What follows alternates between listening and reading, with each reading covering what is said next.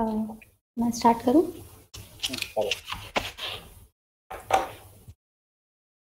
प्रधानमंत्री आवास योजना ग्रामीण Vine News in April 2021, the ministry informed that 92% target of completion has been achieved in the first phase of the scheme, that is from 2016 to 17 to 2018-19. Objective construction of 2.95 crore houses with all basic amenities by year 2022. Uh, the scheme originally was meant to cover people in EWS annual income not exceeding rupees 3 lakh and lower income groups annual income not exceeding rupees 6 lakh section, but now covers the mid income group as well. Salient features are Prime Minister had given a clarion call of housing for all by 2022, for which a flagship, a flagship program of Pradhan Mantri Awas Yojana Grameen was launched on 20th November 2016. So far, 1.14 crore houses have already been built across the country under the program. Identification of beneficiaries uh, done using information from socio-economic uh, and caste census subject to 13 point exclusion criteria. Role of Gram Sabha. The list will be presented to Gram Sabha to identify beneficiaries who have been assisted before or who have become ineligible due to other reasons. Use of technology, inspection and uploading of geo-referenced photographs will be done through a mobile app. Each beneficiary is given 100% grant of rupees 1.2 lakh in plain area and rupees 1.3 lakh in hilly or northeast areas or difficult areas or union territory of Jammu and Kashmir and Ladakh, IAP, LW left-wing uh, extremism districts with the sharing ratio of 60 is to 40 between center and state. Beneficiaries can also avail loan up to rupees 7,000 from financial institutions. Funds for all these houses constructed under Pradhan Mantri Awas Yojana are given by way of four installments directly into the bank account of the beneficiary after verification of various stages of construction through geotagged photographs. The beneficiaries are provided support of unskilled labor wages for 90 to 95% days under uh, Manrega and assistance of rupees 12,000 for construction of toilets through Swachh Bharat Mission Grameen or any other dedicated source of funding. It allows for construction using local material and local house design. A pan-India training and certification program of masons has been launched in the states or uh, oblique union territories. The program implementation is to be monitored through community participation, social audit, a member of parliament, Disha committee, central and state government officials, national level monitors, etc. The scheme has provisions for conversions with other schemes of Government of India and state union territories for providing LPG connection under Pradhan Mantri Ujjwala Yojana, electricity connection, access to safe drinking water and Jal Jeevan mission. Reduction has been done in administrative expenses from 4% to 2% of program funds. The selection of beneficiaries through a three-stage validation, a socio-economic caste census 2011, Gram Sabha and geotagging has ensured selection of the poorest of the poor under Prime Minister आवास योजना ग्रामीण ठीक है आ, ये आ, 92 percent का target हमने achieve कर लिया है जो कि सोलह से लेके उन्नीस तक का टारगेट था। और पहला ऑब्जेक्टिव है कि two point nine five crore houses बनाने थे 2022 तक।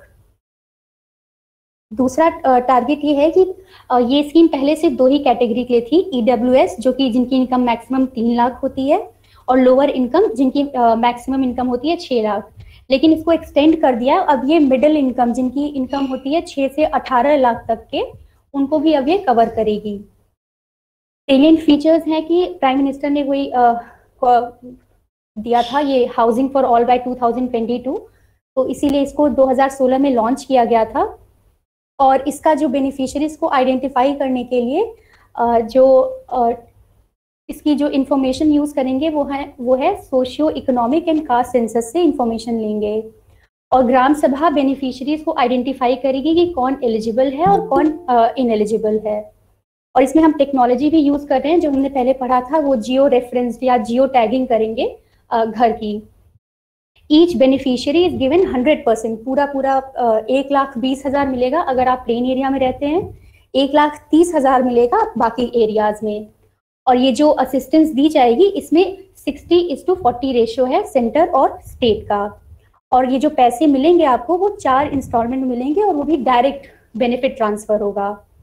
और और वेरिफिकेशन होता रहेगा कि कितने स्टेज पर हमारा मतलब आपका कंस्ट्रक्शन पहुँचा। इसीलिए चार इंस्टॉलमेंट में दे रहे हैं। और फिर है कि the beneficiaries are provided support जो भी सपोर्ट है, ये जो सपोर्ट मनी है, इसमें ये अनस्किल लेबर कवर करेगा।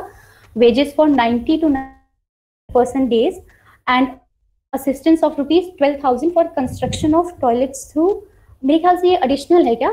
वो एक लाख बीस हज़ार के ऊपर का है क्या ये? नहीं जो लेबर होगा वो अन, वो मनरेगा के थ्रू आएगा। मतलब अच्छा ओके अच्छा उसका कंपोनेंट ठीक है। और फिर बारह हज़ार आएगा टॉयलेट्स का जो कि स्वच्छ भारत मिशन ग्रामीण का पार्ट है। और it allows for construction using local material और लोकल डिज़ाइन को यूज़ करना है। और ट्रेनिंग प्रोवाइड की जाएगी मेसन मेरे ख्याल से जो घर बनाते हैं उनके लिए ट्रेनिंग फैसिलिटी प्रोवाइड की जाएगी। एंड इसका ऑडिट होगा कम्युनिटी पार्टिसिपेशन या social audit Disha committee and central and state government officials मतलब हर कोई हर लेवल पे मॉनिटरिंग होगी इसकी और इस स्कीम को कन्वर्ज किया जाएगा और भी जो दूसरी स्कीम्स हैं गवर्नमेंट की, जैसे उज्ज्वला योजना है या फिर सेफ़ ड्रिंकिंग के लिए है या जल जीवन मिशन है। और एडमिनिस्ट्रेटिव एक्सपेंसेस में रिडक्शन किया गया है चार से दो परसेंट तक का। और जो बेनिफिशियरीज हैं उनको तीन लोग कर रहे हैं मतलब तीन लोग उसका वेरिफिकेशन कर रहे हैं। एक ये कास्ट सेंसस के थ्रू और ग्राम सभा करेगी एंड जियो टैगिंग ताकि कोई भी छूट ना जाए इसमें।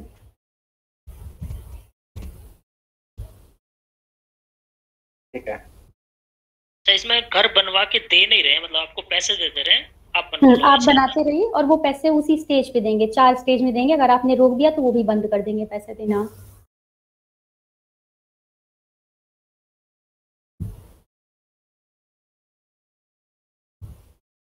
राइट नेक्स्ट पे चलते हैं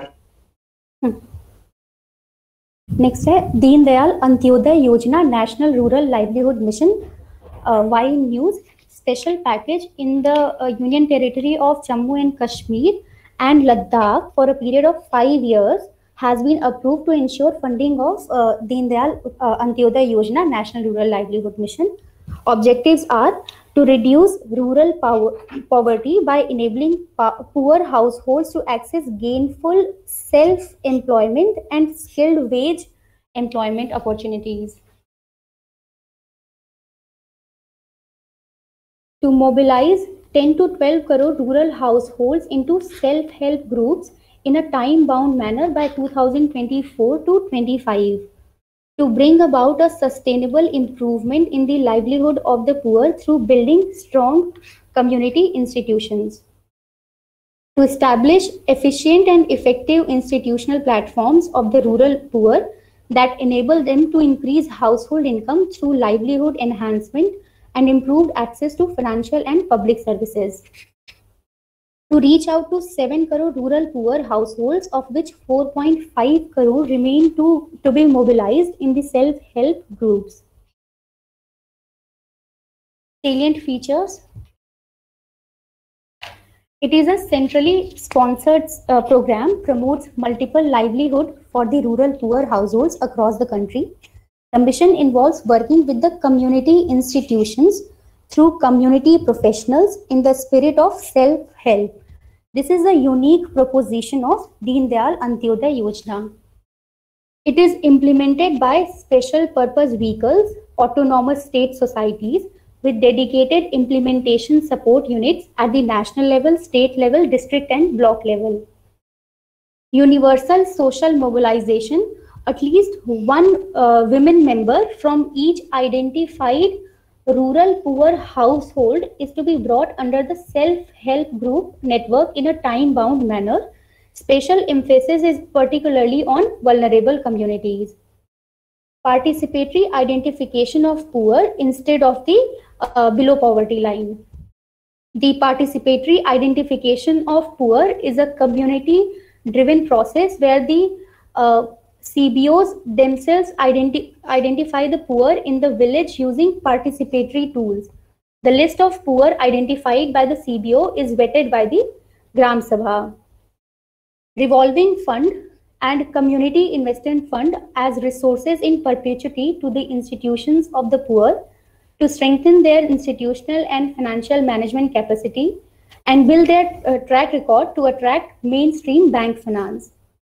Financial inclusion, it promotes financial literacy among the poor and provides catalytic capital to the self-help groups and their federations.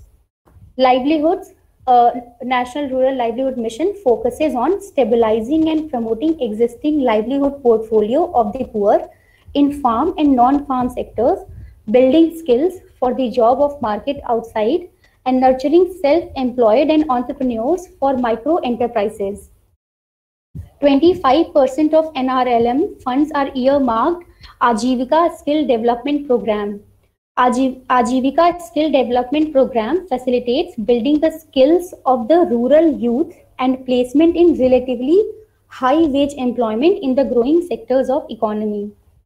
National Rural Livelihood Mission is encouraging public sector banks to set up rural self-employment training institutes in all the districts of the country on the lines of Rural Development Self-Employment Institute model.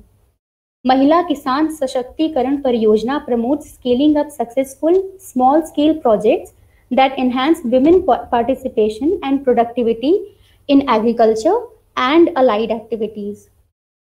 Uh, MKSP also aims to ensure household food and nutrition security of the poor and the poorest of the poor.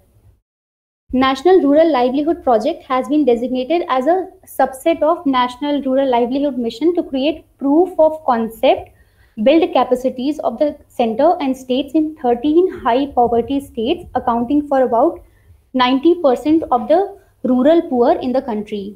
World Bank aided project, namely National Rural Economic Trans uh, Transformation Project, to scale up initiatives on digital finance and livelihood interventions. In October 2020, the Cabinet has approved a special package worth rupees 520 crores in the Union territories of Jammu and Kashmir and Ladakh for a period of five years till uh, 2013 to uh, 2023 to 24 to ensure funding of Deen Dayal Antyodaya Yojana uh, on a demand driven basis without linking allocation with poverty ratio during this extended period.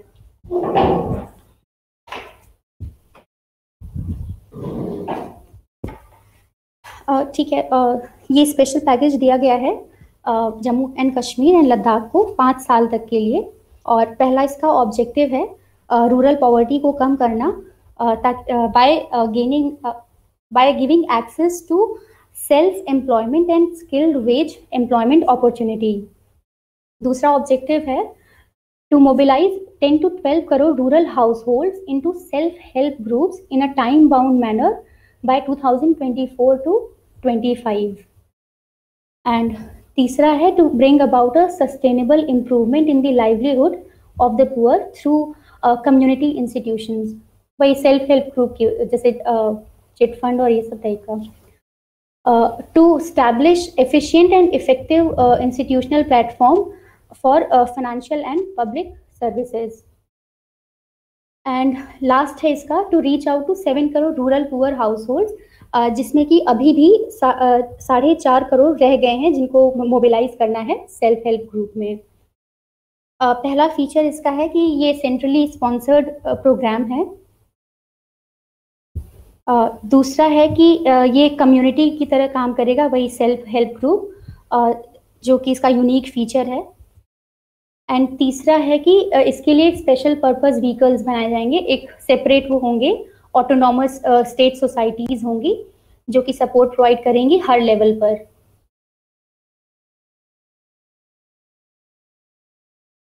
तीसरा है universal social mobilisation कम से कम एक women होनी चाहिए from each identified rural poor household जो कि सेल्फ हेल्प ग्रुप में आना चाहिए। हर घर की एक महिला आनी चाहिए अंदर। उसमें ग्रुप में। और पार्टिसिपेटरी आइडेंटिफिकेशन होगा इंस्टेड ऑफ़ बीपीएल मेरे ख्याल से कम्युनिटी सब मिलके खुद डिसाइड करेंगे एंड फिर ग्राम सभा उसमें वो करेगी कि फाइनलाइज करेगी। करेक्ट हाँ एंड फिर revolving fund and community investment fund इसका मुझे आइडिया नहीं है। Uh, मेरे ख्याल से कम्युनिटी इन्वेस्टमेंट फंड तो वही सेल्फ हेल्प ग्रुप वाला हो गया कि सब मिलके रेज करेंगे एंड हेल्प करेंगे। रिवॉल्विंग फंड आइडिया नहीं है। एंड फाइनेंशियल इंक्लूजन में हेल्प हाँ किसी को आइडिया है? रिवॉल्विंग फंड का। रिवॉल्विंग फंड आई थिंक शायद नॉन लैप्सेबल फंड के सेंस में कह रही है है ना? ऐसे हाँ मेरे ख्याल से उसको फिर से वो कर देना ना। ठीक है। और लाइवलीहुड है जो कि फोकस uh, करेगा लाइवलीहुड को of the poor in both farm and non farm sectors में। और फिर 25 percent of N R L M funds are earmark इसके, इसमें भी 25 परसेंट जो है वो अलग किए जाएँगे आजीविका स्किल डेवलपमेंट जो कि रूरल यूथ को प्रोवाइड किया जाएगा, ताकि उनको हाई वेज वाली एम्प्लॉयमेंट मिल सके। और महिला किसान सशक्तिकरण परियोजना में ये भी प्रमोट करेगा small scale project that enhance women participation both agriculture में भी और अलाइड एक्टिविटीज़ में भी। और ये जो N R L P project हैं ये एक सबसेट हैं एन आर एल एम का to create proof of concept build capacity of the centre and state मेरे ख्याल से एविडेंस के लिए proof of concept proof of concept basically ना कोई ऐसा प्रोजेक्ट जो कि एक्चुअली में काम कर सकता है मतलब जिसको कमर्शियल स्केल पे लॉन्च नहीं किया बस एक डेमो के तौर पे है कि हाँ ये चीज़ को अच्छा। प्रोड्यूस किया जा सकता है। ओके पायलट बेसिस पे ठीक है। हाँ मतलब वो चीज़ स्केलेबल है आगे कि मतलब अभी छोटे पायलट बेसिस पे किया अब उसको आगे और जगह फैला सकते हैं। अच्छा ठीक है। और world bank aided project namely national rural economic transformation project to scale up initiatives on digital finance and livelihood intervention ठीक है डिजिटल फाइनेंस को प्रमोट करने के लिए ये वर्ल्ड बैंक का जो प्रोजेक्ट है इसका नाम याद करना इंपॉर्टेंट है। National rural economic transformation project और अक्टूबर uh, 2020 में कैबिनेट ने एक स्पेशल पैकेज दिया था 520 करोड़ का फाइव इयर्स तक के लिए वही 2023 से 24 तक के लिए। और ये डिमांड ड्रिवन बेसिस पे है और इसको लिंक नहीं किया गया है। वही बीपीएल और वो क्राइटेरिया नहीं देख रहे हैं। रादर ये पार्टिसिपेटिव या कम्युनिटी अप्रोच से डिसाइड कर रहे हैं कि कौन होंगे इसके beneficiaries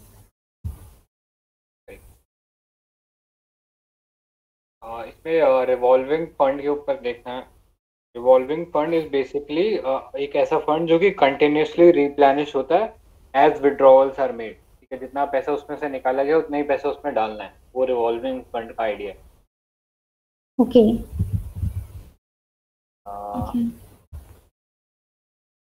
next Aajeevika Grameen express योजना।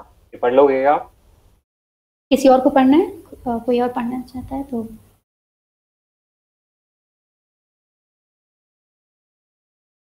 ठीक है। आजीविका ग्रामीण एक्सप्रेस योजना It was launched in 2017 as a sub scheme under Deen Dayal Antyodaya Yojana uh, to facilitate uh, Ajivika Gramin Express Yojana to provide connectivity to rural areas through vehicles operated by uh, self-help group members.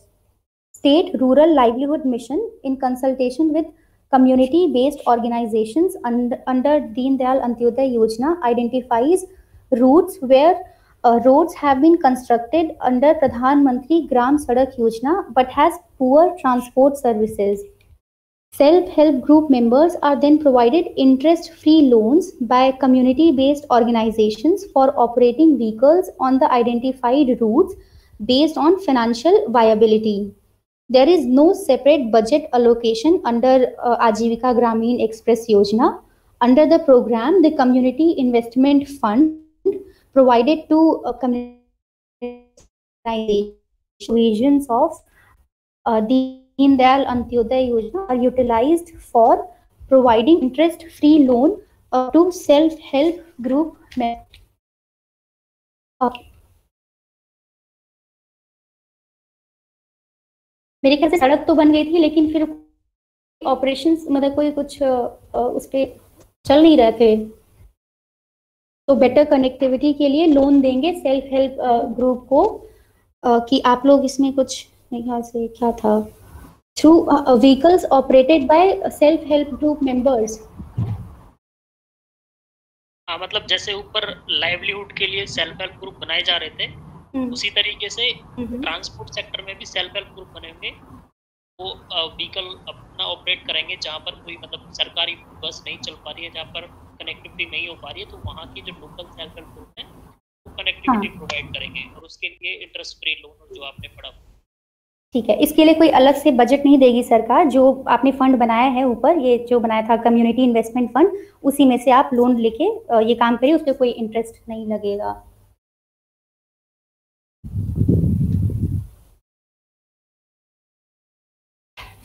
ठीक है। तो ये था आजीविका Grameen express योजना। Next Deen Dayal ग्रामीण कौशल योजना। इसको मैं पढ़ अभी हाँ। दीप दीप अच्छा दीपी आपको पढ़ना है? हाँ हाँ। Okay Deendayal Upadhyay Grameen Kaushal Kaushalya Yojana.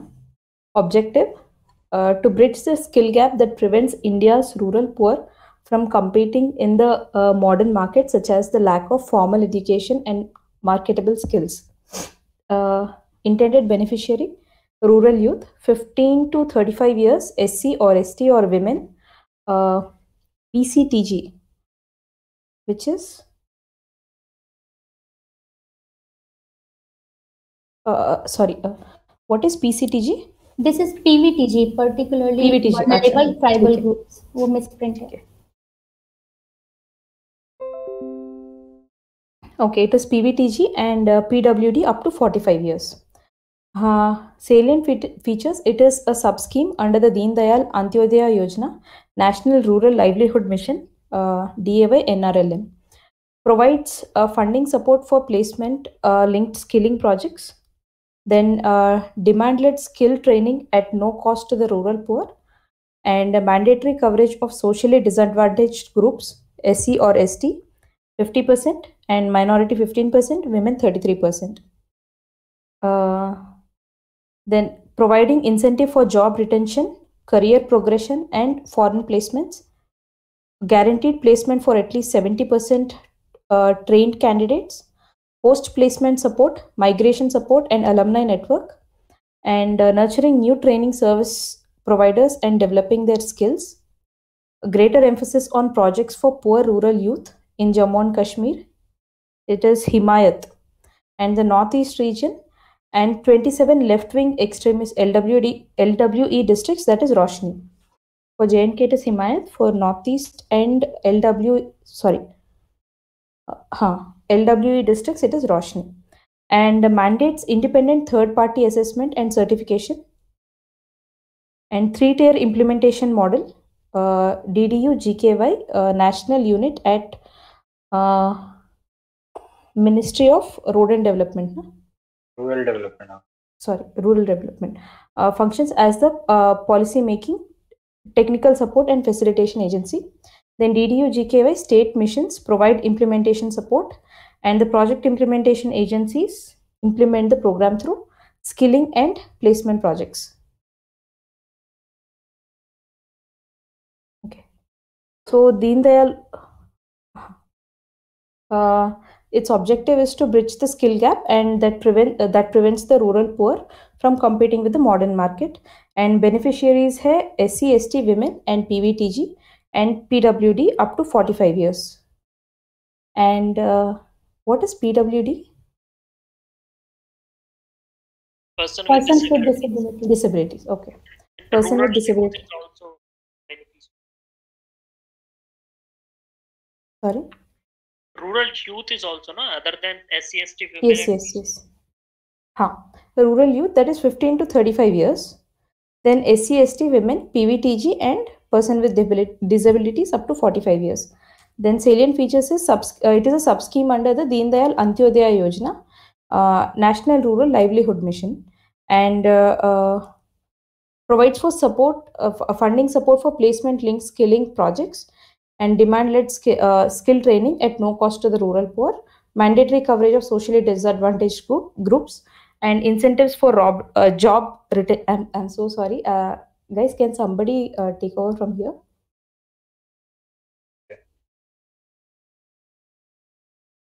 nurture new training service provider in developing their skills तो बेसिकली जो ट्रेनिंग सर्विस प्रोवाइड करेंगे उनको भी ध्यान में रखना है और उनका भी स्किल डेवलपमेंट होता रहे देन स्पेशली इम्पोर्टेंट इसका फोकस किया गया जम्मू कश्मीर में और लेफ़्ट विंग एक्सट्रीमिस्ट एरियाज़ जो है इंडिया के अंदर, उनके ऊपर फोकस है। उनके लिए स्पेसिफिक टर्म्स है तो आई थिंक ये थोड़ा दिमाग में रखना।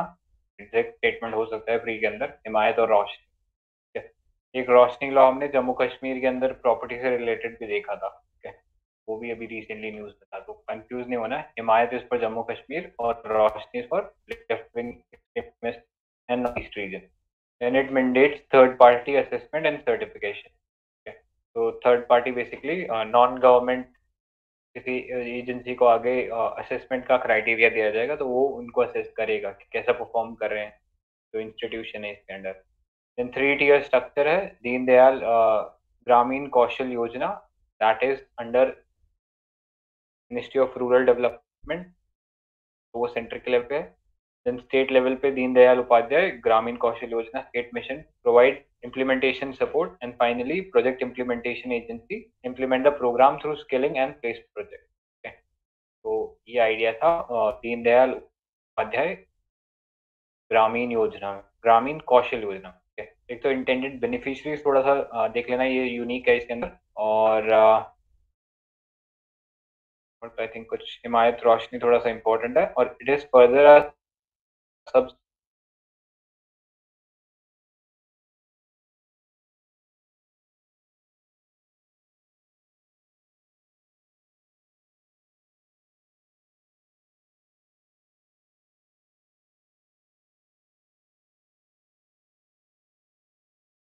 skill training at no cost to the rural poor मतलब डिमांड ओरिएंटेड उनको स्किल दिया जाएगा। ऐसे नहीं कि कुछ की स्किल दे दिया तो वो चीज़ में ध्यान में रखना है कि क्या चीज़ की एक्चुअली में डिमांड है कहाँ पे शॉर्टेज है तो ध्यान में रख के दिया हाँ, उसमें चॉइस देते हैं ना कि आपको किस उसमें करना है जैसे कि आपको एग्रीकल्चर में सीखना है या बहुत सारी उनकी लिस्ट है।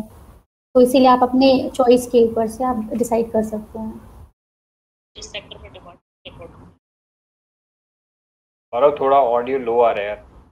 मतलब जिस सेक्टर में डिमांड होगा वैसे उनको किया जाएगा। ऐसे नहीं कुछ भी दे दिया ट्रेनिंग नहीं नहीं जो वो डिमांड करेंगे वो उनको दिया जाएगा कि किस फ़ील्ड में उनको चाहिए स्किल शायद से। हाँ ये हम्म, मुझे भी कि ज, जो वो चाहते हैं कि मुझे कोई भी चीज़ मत सिखाओ जो मैं सीखना चाहती हूँ वो सिखाओ। मेरी डिमांड जो होगी।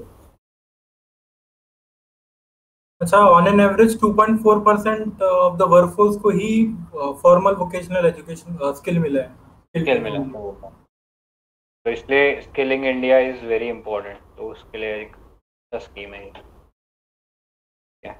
नेक्स्ट चलते हैं। पीएम गरीब कल्याण रोज़गार अभियान तो it was launched by September 2020 about 27.21 crore man days employment was provided under the Abhiyan तो the objective was to provide livelihood employment to the returning migrant and similarly affected citizens in the rural area, saturate villages with public infrastructure, and create livelihood opportunity with roads, housing, Anganwadis, Panchayat, Bhavans, various livelihood assets, and community complex, among others. Salient feature kya? It was launched in June 2020 for the period of 125 days in 116 districts of states, namely Bihar, Uttar Pradesh Madhya Pradesh Rajasthan Jharkhand Orissa in the wake of Covid nineteen outbreak ठीक है I think कल हमने शायद इसी scheme को discuss भी किया था Abhiyan involve intensified and focus implementation of 25 target driven work to be provide to provide employment, create infrastructure in the rural areas of the 116 Abhiyan district with a envelope of 50,000 crores. Then it was it was a convergent effort between Ministry of Rural Development and other 11 participating ministries. So Ministry of Panchayati Raj, Road Transport, Highways, Mines, Jal Shakti, Environment, Railways, Petroleum and Natural Gas, New and Renewable Energy, Border Roads, Telecom and Agriculture, and the six state government. तो बस इसमें ये चीज़ याद रखना कि सारे state included नहीं थे सिर्फ़ लिमिटेड नंबर ऑफ़ स्टेट थे, जो कि टोटल छः थे। उसमें से बिहार यूपी मध्य प्रदेश, राजस्थान, झारखंड एंड उड़ीसा मतलब आप सोच सकते हो जहाँ से सबसे ज़्यादा माइग्रेंट लेबर्स गए थे या आते हैं, जहाँ से सबसे ज़्यादा, उन्हीं स्टेट के अंदर मेन फोकस था इस स्कीम का। इसके अंदर 125 डेज़ का वर्क देना था उन लोगों को और 25 target driven works to provide employment तो मतलब एक 25 सेक्टर्स थे या एरियाज़ थे जहाँ पे कुछ कुछ इंफ्रास्ट्रक्चर क्रिएट करना था रूरल एरियाज़ और मल्टीपल जो मिनिस्ट्रीज थी, वो इसमें इन्वॉल्व थी। एक प्राइमरी उसमें हम कह सकते हैं मिनिस्ट्री ऑफ़ रूरल डेवलपमेंट तो बस यही था। नेक्स्ट चलते हैं ministry of science and tech तो ये scheme basically innovation in science pursuit for inspired research inspire scheme थी, INSPIRE. In February 2021, the ministry informed that during the last three years, close to 1,23,024 young students of class 6 to 10 from recognized school across the country received the sorry Inspire Award Manak. Okay. तो इस scheme के अंदर एक award भी दिया है मानक नाम से तो ये चीज़ इम्पोर्टेंट था इसके बारे में देन ऑब्जेक्टिव क्या है to communicate the youth population of the country the excitement of creative pursuit of science and attract the talent to study of science at an early stage and build the required critical human resource pool for strengthening and expanding science and technology and resource development based sorry R&D based research and development तो बच्चों को ये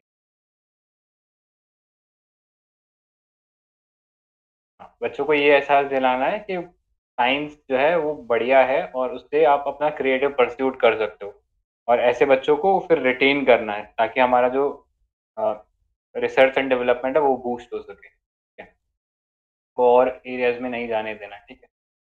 salient features, inspire was approved in 2008 for attracting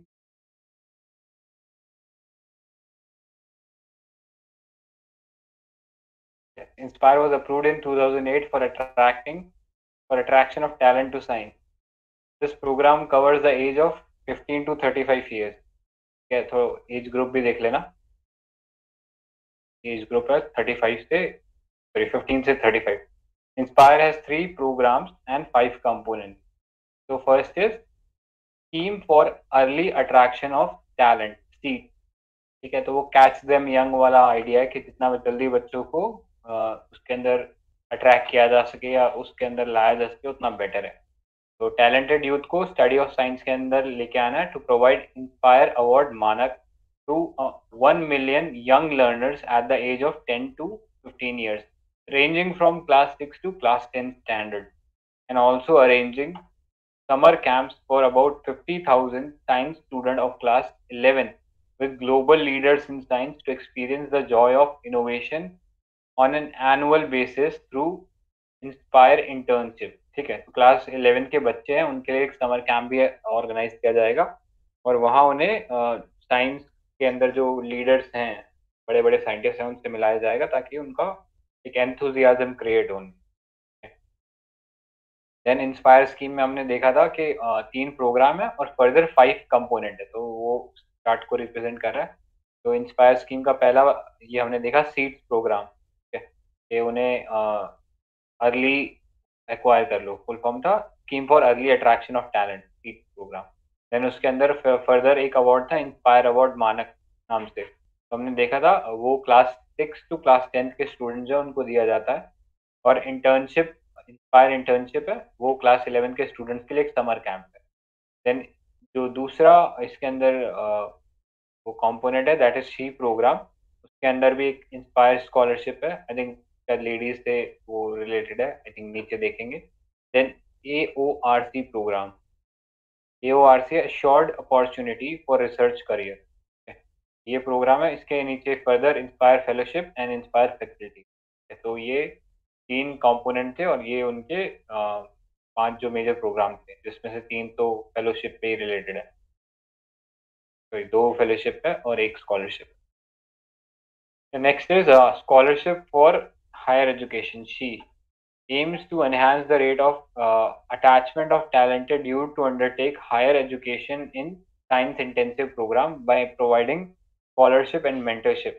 The scheme offers 10,000 scholarship every year to 0.8 80,000 uh, per year for the talented youth in the age group 17 to 22 for undertaking bachelor's and master level education in natural sciences ठीक है तो जो बच्चे natural sciences के अंदर admission लेंगे सी के अंदर स्कॉलरशिप दिया जाएगा उन लोगों को। ठीक है, ताकि वो एक तरीके से इंसेंटिवाइज हो सके। Then assured opportunity for research careers A O R C aims to attract attach retain and nourish talented young scientific human resource for strengthening the R&D and the base. It has further two subcomponents. Inspire Fellowship, age group है 22 से 27. Offers one.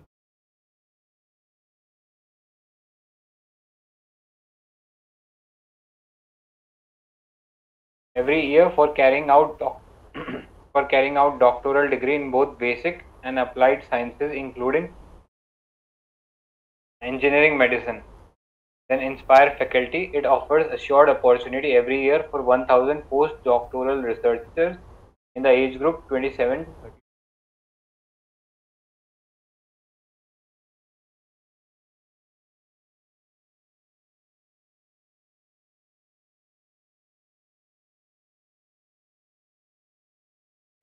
तो basically fellowship programme जो है uh, वो ये ये चीज़ ये O R C assured opportunity for research career तो बेसिकली अट्रैक्ट करना है रिटेन करना है।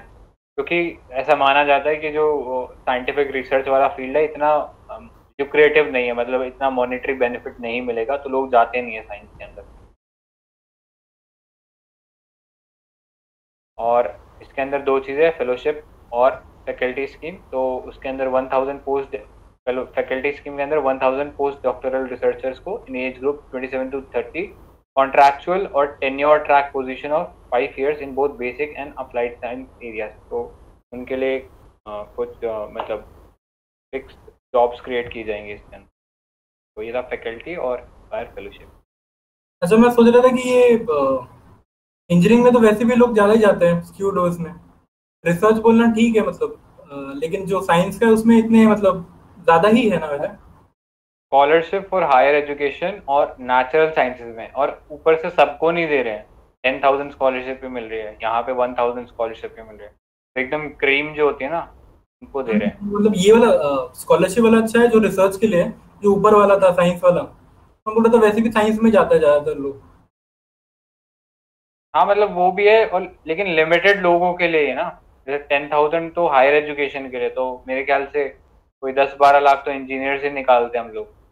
और फिर सिर्फ़ नेचुरल साइंसेज के लिए दे रहे हैं यहाँ पे ऊपर जो शी वाला प्रोग्राम था ना में नेचुरल साइंसेस लिखा है तो आई थिंक इंजीनियरिंग नहीं आएगा उसमें। वो बी एस सी वगैरह ही आएगा। वो इंस्पायर टोटल जो स्कीम है वो? इंस्पायर हम्म। तो ये बहुत बड़ा स्कीम है ना एक अम्ब्रेला स्कीम है उसमें अलग अलग कंपोनेंट है। सीट्स यंग बच्चों के लिए स्कूल गोइंग के लिए। फिर शी प्रोग्राम जो है जो कॉलेज गोइंग स्टूडेंट है। और फिर जो फैकल्टी मतलब हायर स्टडीज़ में जा रहे हैं उनके लिए ए ओ आर सी है ठीक है? तो हर लेवल को हिट कर रहा है ये।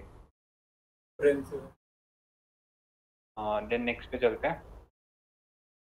The million mind augmenting national aspiration and knowledge Manak ठीक है ये ऊपर अभी जो अवार्ड की बात करी थी इंस्पायर के अंदर वही चीज़ लिखी हुई है। तो आई थिंक फुल फॉर्म अगर याद रख सका तो कर लो। बाकी ऐसे मेरे को नीड तो नहीं लग रही इसमें। Was launch by department of science and tech in partnership with national innovation fund ठीक है in 2013 its objective is to target 1 million original ideas innovations rooted in science and societal application to foster a culture of ideas, innovative thinking among school children. It aims to motivate students in the age group 10 to 15 studying in class 6 to 10. The DST, Department of Science and Tech, invite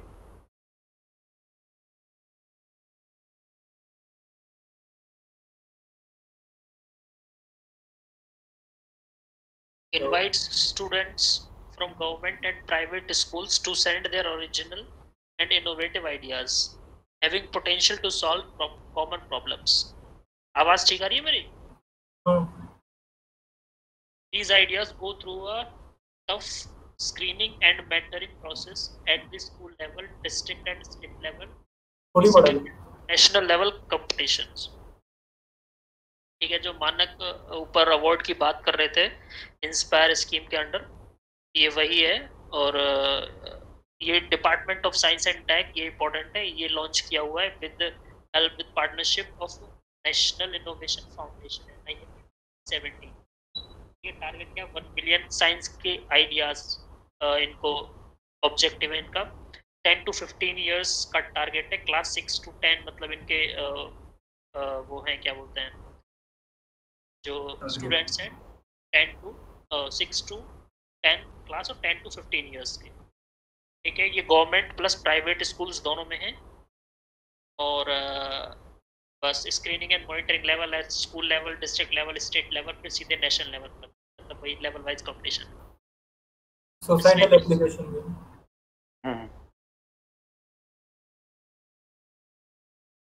तो ये था Manak award जो Inspire scheme के under दिया जा रहा है। Next है miscellaneous Kiran. Knowledge involvement in research advancement through nurturing तो in 2014 department of science and tech was restructured all women specific programmes under one umbrella known as Kiran it is a women exclusive scheme of D S T with mandate to bring gender parity in science and tech to कोई और हाँ, ठीक है मैं पढ़ लेता हूँ। तो नो पहला है Kiran. In year 2014 DST has restructured all the women specific programmes under one umbrella तो अभी वुमेन स्पेसिफिक अम्ब्रेला स्कीम बन गया है किरण ओके तो it is a women exclusive scheme of DST with a mandate of bringing gender parity in S and T तो हमें पता है कि स्टेम में there is a parity between men and women through gender mainstreaming so different programmes and components of Kiran like इसी same broad umbrella है ना तो कंपोनेंट है वुमेन क्या है ये राठौड़ वो ओके तो माइक थोड़ा कर्जर हटा था ओके तो women specific scheme A okay शायद and women scientist scheme B deal with various uh, crucial issues such as break in career primarily due to family responsibilities uh, self-employment part-time career um, relocation and so on i think these are typical reasons why women uh, drop out of the workforce To faced by women scientists in their career path okay so this scheme was in news due to various steps taken by ministry to promote women in stem okay so these are the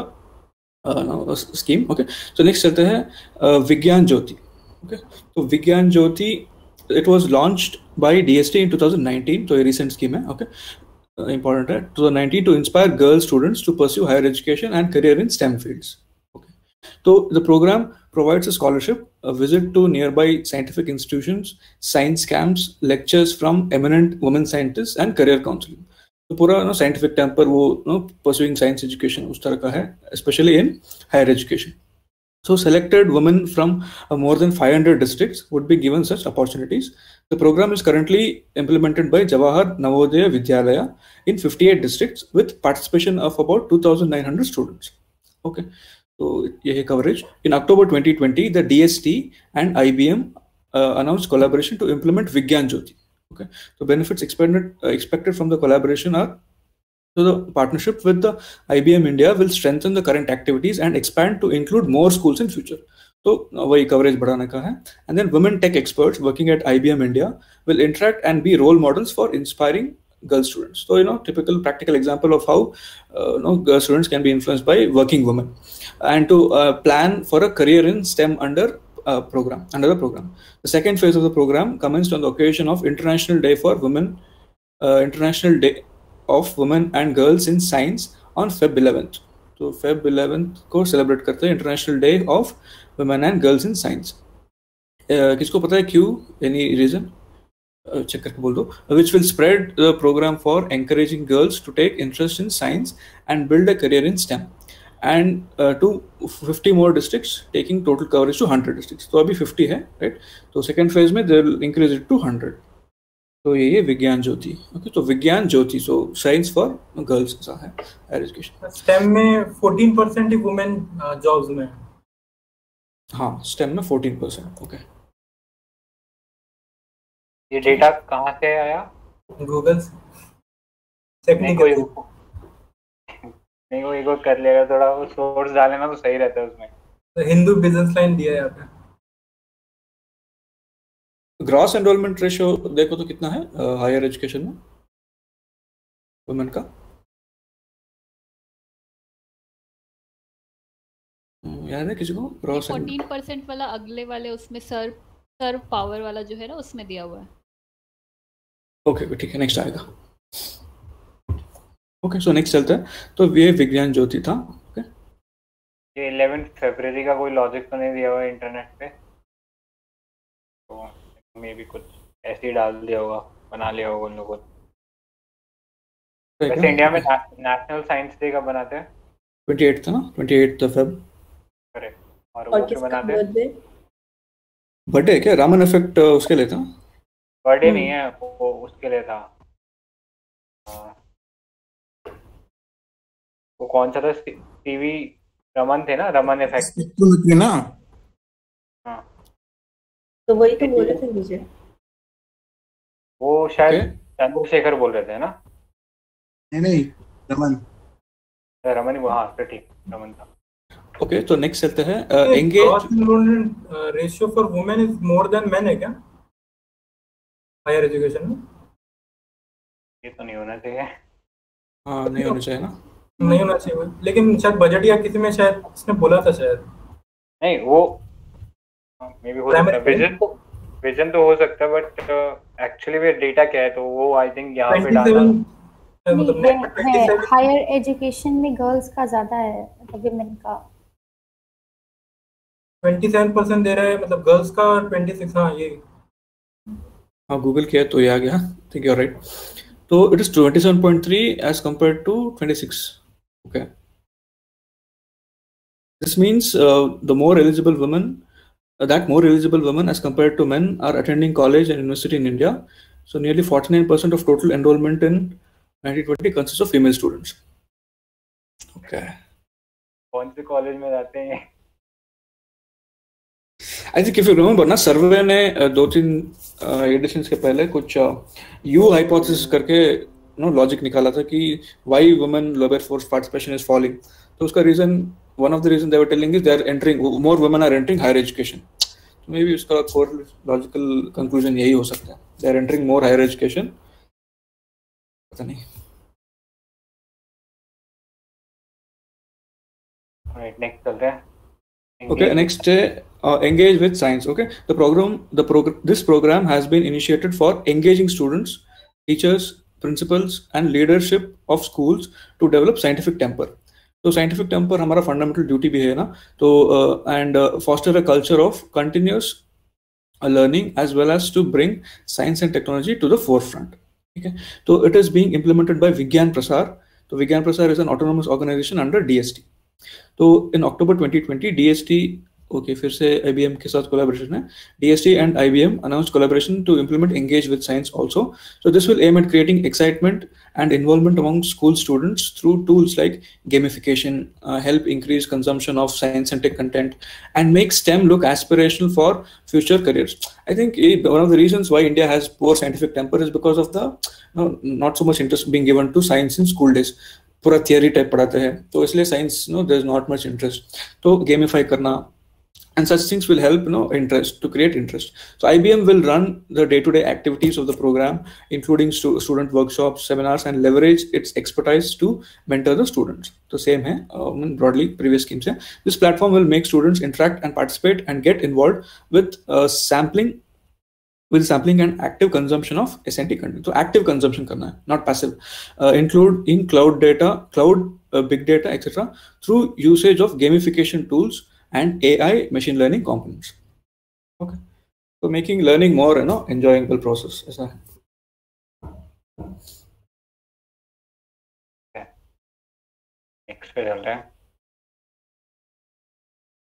okay, next uh, uh, scheme here, SERB Power. Okay, so SERB is Science and Engineering Research Board. So Power का full form है promoting opportunities for women uh, in exploratory research. Okay, so again, women in exploratory research. Okay, so power scheme will mitigate gender disparity in science and engineering uh, uh, research funding in various SNT programs in Indian academic institutions and R&D laboratories. According to United Nations, uh, तो देखो fact, 40% of STEM uh, graduates in India are women.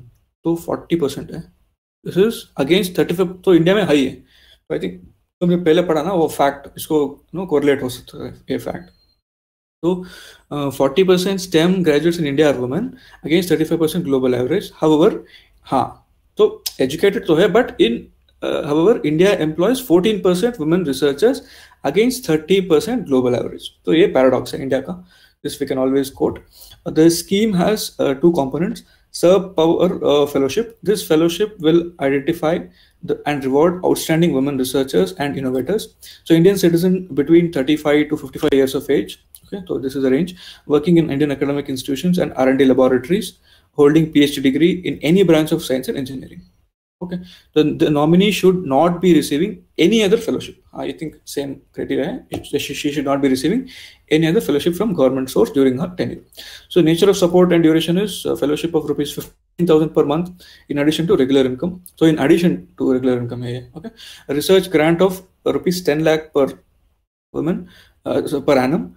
Successful power uh, fellowship fellows cannot be renominated. Okay, so this is like to promote more opportunity So they cannot be renominated. ये एक और point है then SERB power research grants इसमें the scheme aims to encourage emerging and eminent women researchers for individual centric and competitive mode research funding to undertake R&D activities in frontier areas of science and engineering. Okay, so I mean, why research grants are there for research activities? Power grants will empower women researchers in funding them under the following two categories. So first category, level one, the scale of funding is up to 60 lakhs for three years, and then level two, mein, uh, same hai, but amount is less, 30 lakhs for three years. So level one is higher amount, level two is lower amount for you know same period, three years. उसमें I think वो STEM वाला no it is important जो भी हमने discuss किया fact India में women is greater than men and global globally में India and women are higher but in employment we are less ठीक है आई थिंक अभी कितना है? नेक्स्ट चलते हैं।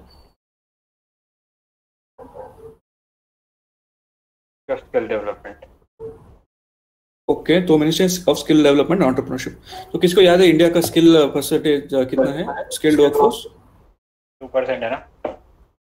हाँ I think around five percent less उसी तरह है। ओके इट्स वेरी लेस तो schemes in news Pradhanmantri Kaushal Vikas Yojana. तो recently third phase was launch तो 3.0 तो ऑब्जेक्टिव इज़ टू थोड़ा स्क्रॉल करो।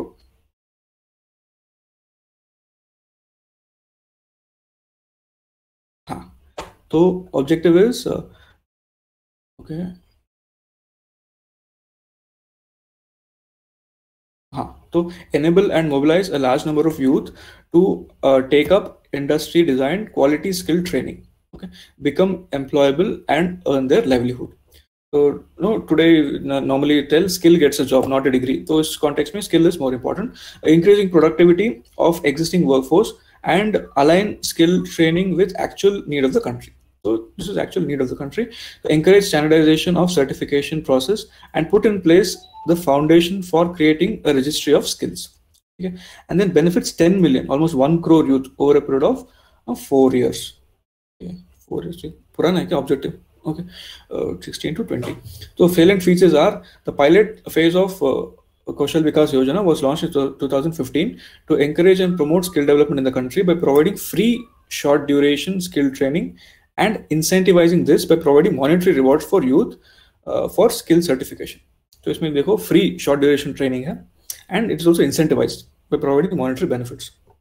तो इसमें no they're incentivizing also during this pilot phase 19.85 lakh candidates were trained so no, if you see the number it's very less मतलब जो target था और number of trained it is I think I think pilot phase का है शायद तो next है 2.0. to 2.0 is from 16 to 20.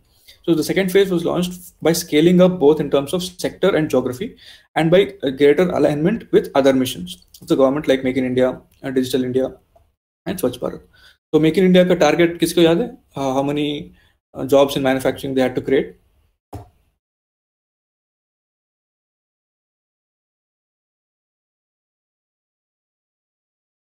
Hundred billion, so uh, 10 crore. हाँ करेक्ट आई थिंक वही नंबर है हंड्रेड मिलियन ओके तो मैन्युफैक्चरिंग का share we have to increase to twenty five percent of G D P तो वही है। The scheme was align to common cost norms and had a total budgetary outlay of twelve thousand crore okay तो key components of the scheme are short term training तो पहले हमने देखा। Candidates who were either school और college drop out और unemployed were trained according to the job role Uh, that is generally two to six months. तो ये on-job training बोलते हैं. Upon successful completion of their assessment and certification, candidates were provided placement assistance by training partners. Okay. Then recognition of prior learning. I think a prelims ka question hai. Recognition of prior learning. Individuals with prior learning, uh, prior learning experience or skills are assessed and certified under the RPL component. जो भी पहले skills है that is recognized. Recognition of that is very important. of the scheme, RPL aims to align competencies of unregulated workforce of the country to the NSQF. So kind of formalizing the informal uh, skill sets. The duration of the training orientation ranges from 12 to 80 hours. Okay. So yeah, uh, special projects as to encourage training in special areas and premises of government bodies, uh, corporate industry bodies, and trainings in special job roles not identified under available uh, qualification packs. I think packed hai kya? Okay. Uh, national occupation standards. Okay. Next is the scheme is being uh, implemented through two components. The first component is centrally sponsored, centrally managed. Centrally sponsored, centrally managed, and next is centrally sponsored, state managed. So both are managing. This component is implemented by NSDC. NSDC ये skill ministry के अंदर है ना? N S D A भी अंदर है या बाहर है? एन एस डी ए हाँ। नहीं क्या एनएसडी है वैसे? हाँ अथॉरिटी हाँ एजेंसी या अथॉरिटी सेम है क्या? एजेंसी है शायद और ओके ठीक है। किसको याद है तो बोल दो। So seventy five percent of the P M K V Y twenty sixteen twenty funds and corresponding physical targets have been allocated under centrally managed का component okay so seventy five percent of this if you see major central के पास है of the funds And then if we come under state managed, so this component is by state governments through state skill de uh, development missions. So if you see 25%, so VAR 75% tha, yeah, but 25% of uh, P1 KVY, uh, 16 to 20 funds and corresponding physical targets have been allocated. So I think funding uh, difference, uh, both are managing. So next hai, Kaushal Vikas Kendras, sorry, Kaushal Kendras were set up in districts. So more than 1.2 crore youths have been trained. 1.2 crore. Uh, through improved standardized skilling ecosystem in the country under 1.0 and 2.0 next Saturday, up 3.0. So this is the news. Okay. So 3.0, it was launched in January 2021 in nearly 600 districts. So making 300 plus skill courses available to the youth. Almost you know, entire country got spread here, if you see, uh, making skill development more demand driven and decentralized. So this is the key thing. It is demand driven and uh, decentralized. It will be implemented in a more decentralized structure with greater responsibilities and support from state, UTs and districts. Way decentralized ka, because they are making it more local. So district skill committees under the guidance of state skill development mission. Okay. कितने districts हैं India में कुछ 700 plus है okay 720 ऐसा कुछ आसपास वो जो एन एस डी ए बोल रहे थे ना इट हैज़ बीन सब्ज्यूम्ड और नया बॉडी बन गया है N S sorry N C VET national council for vocational educational and vocational education and training ठीक है वेंसीवेट और वो मिनिस्ट्री ऑफ़ स्किल के अंडर है। ओके सो दोनों मिनिस्ट्री ऑफ़ स्किल के अंडर है राइट पीएम केवाई में सिर्फ़ 24 परसेंट को ही जॉब मिली है स्किल के बाद। 24 परसेंट ओके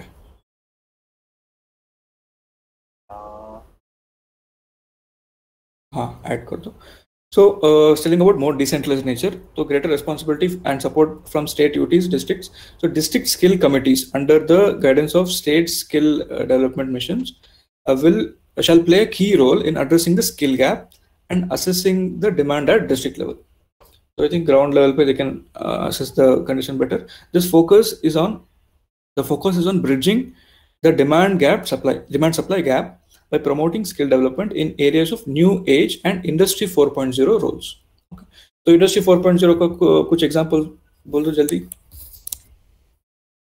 आईओटी वगैरह वगैरह तो डेटा ओके राइट हाँ राइट सो नेक्स्ट है PM three point zero aims to train eight lakh candidates तो इसमें टारगेट बहुत लेस है एट लाख तो पहले था ऑलमोस्ट नो वन करोड़ लिया था उन्होंने टारगेट अभी this is just no eight lakh candidates candidates.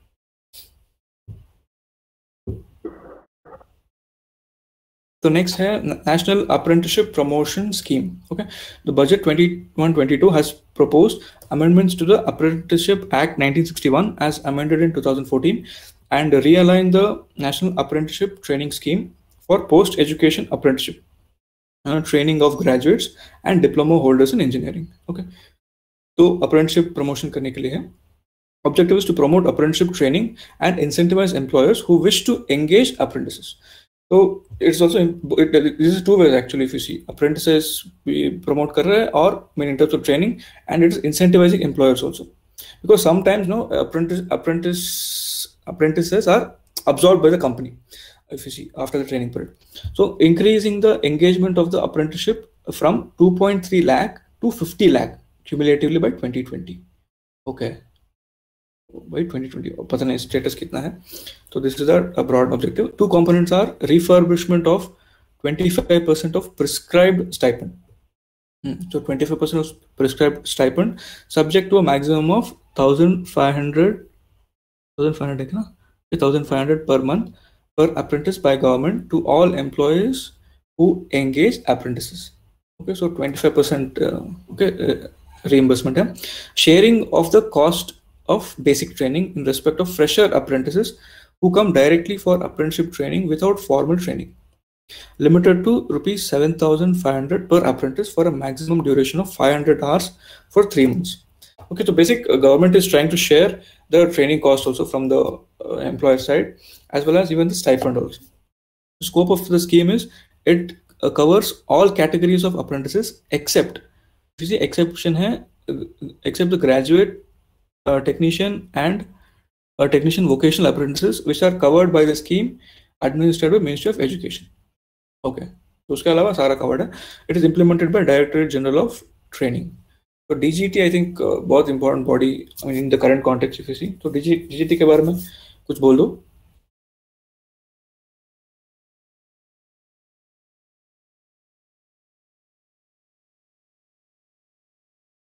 पता नहीं यार तेरे को पता है मतलब सेम है ना स्किल मिनिस्ट्री के अंदर ही आता है राइट और हाँ। ये एजुकेशन मिनिस्ट्री के अंदर आता है। नहीं नहीं ये तो स्किल मिनिस्ट्री के अंदर है ना।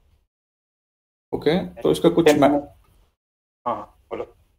हाँ वही है ना उसका ये मैंडेट ब्रॉडली है to you know promote vocational training ऐसा कुछ सुना था बट इसके अलावा स्पेसिफिक कुछ है तो देख सकते हैं। ठीक है नेक्स्ट चलो। एक ऐसी कोई स्कीम थी ना जिसमें जो ग्रेजुएट्स हैं उनको अर्बन जो बॉडीज हैं अर्बन लोकल बॉडीज उनमें अप्रेंटिसशिप के लिए ज्वाइन किया जाएगा। क्या नाम था उसका? ट्यूलिप ट्यूलिप अच्छा। मतलब फॉर्म बोलो। वो याद नहीं है urban local internship program C for leadership कुछ था ना? एक मिनट चेक कर लेता हूँ। अर्बन लीडरशिप इंटर्नशिप है। मिनिस्ट्री ऑफ़ हाउसिंग के अंदर है ये ओके मिनिस्ट्री ऑफ़ हाउसिंग है और एआईसीटी सी भी इन वो ए आई सी डी वो जो इंजीनियरिंग वाला बोर्ड है ना वो भी इन्वॉल्व है। ओके ठीक है। और डीजीटी भारत स्किल्स पोर्टल भी हैंडल करता है ना? हाँ ओके उसके अलावा भारत स्किल्स पोर्टल है क्या? ओके हाँ भारत स्किल्स पोर्टल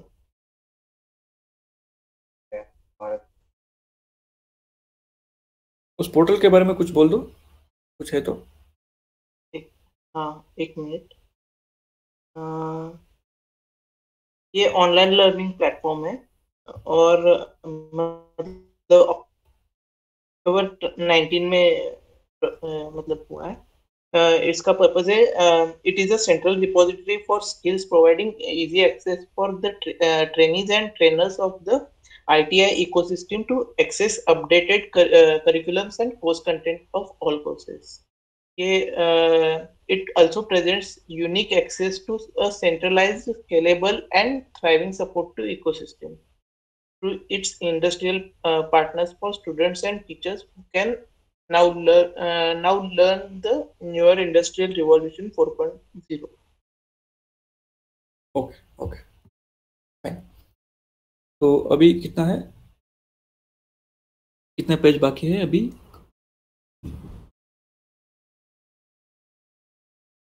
लास्ट है ना ये मिनिस्ट्री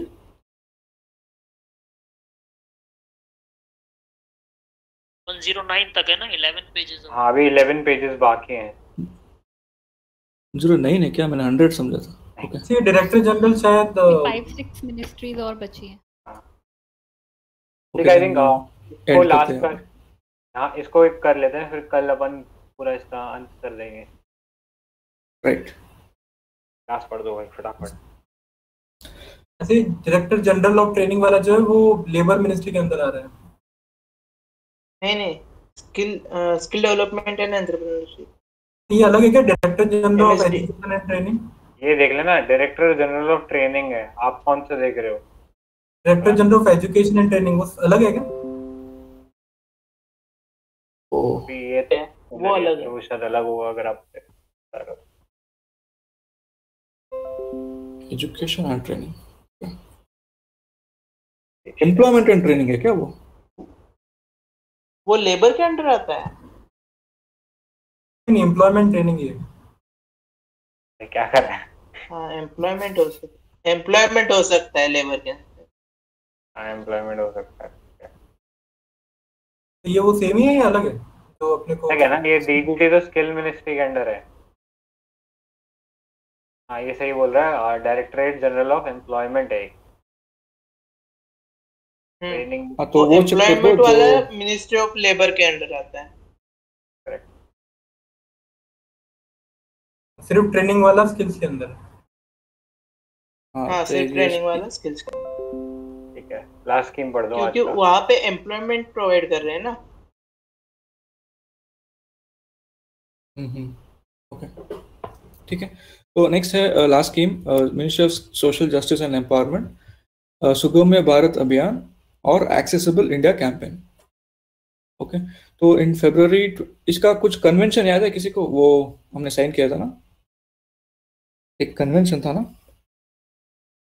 ओके याद है तो बोल देना तो in Feb in Feb 2021 uh, in February 2021 the central launched Sugamya Bharat app and access the photo digest okay, was launched the objective is uh, for achieving universal accessibility for persons with disabilities so universal access for persons with disabilities है तो targets देखो uh, making 50% okay, not all 50% of all government buildings of NCT and all state capitals, fully accessible.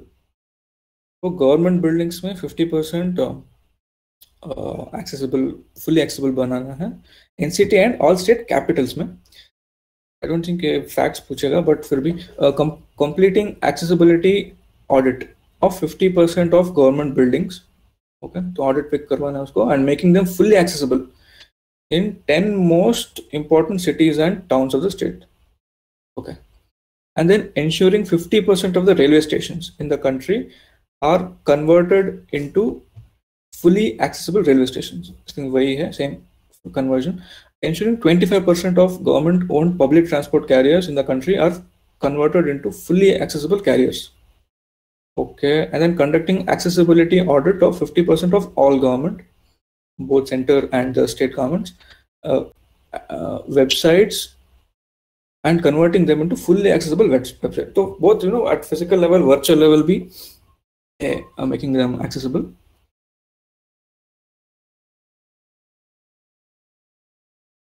So salient features are uh, for creating universal accessibility for persons with disability.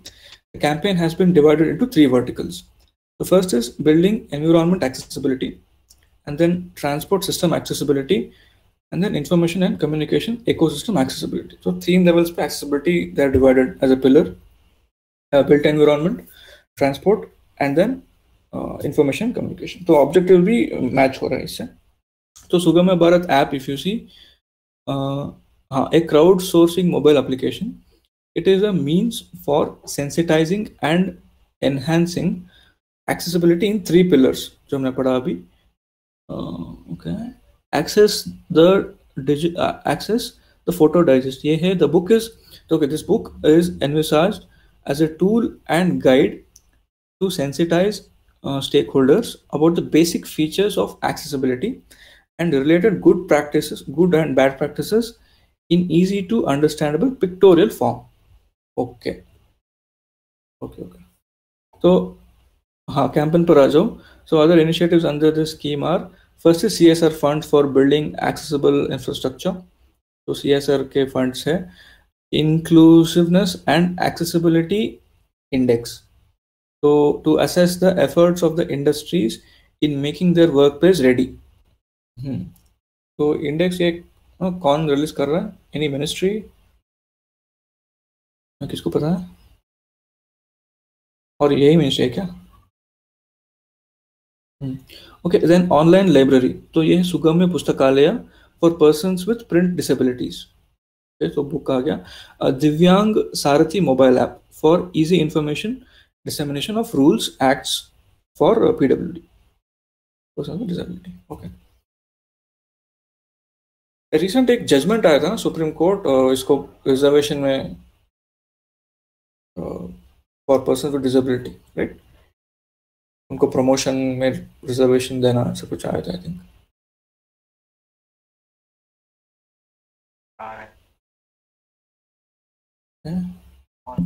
और जो तुम convention बोल रहे थे ना वो UN convention on rights of person with disabilities okay तो हमने साइन किया है ना? मतलब ये हम्म India signatory to this okay okay अपनी आरबीआई ने ऐप भी लॉन्च किया था ब्लाइंड लोगों के लिए वो पैसे को रीड करने वाला। मनी ऐप था अच्छा ये बताओ अच्छा कि अपन लोगों ने international convention on road safety sign किया है? वो, वो ब्राजीलिया। अभी जो डिसेबिलिटीज वाला कन्वेंशन ब्राजीलिया वाला है ना जो तुम बोल रहे हो? वो ब्राजीलिया डिक्लेरेशन नहीं है। ओके ब्राज़ील नहीं साइन किया है। जाओ और एक और था वीना कन्वेंशन था क्या? रोड सेफ्टी पे क्या हमारा कोई? मैं भूल रहा हूँ। अपन ने कोई कन्वेंशन साइन नहीं किया लेकिन साइन किया है लेकिन ये international convention road safety sign नहीं किया जो जो, जो तुमने सही बोला है। नहीं कोई कन्वेंशन भूल गया मैं एक और नाम था उसका। लेकिन गडकरी जी एक प्लेटफॉर्म पे तो गए थे। रिलेटेड कौन रोड पे ही था। ठीक है तुम मिले तो बताना यार उसके अंदर। तो अपन आज ये वाइंड अप करते हैं। तो तुम रोड सेफ्टी बोल रहे हो वो यूनाइटेड नेशंस कन्वेंशन है क्या?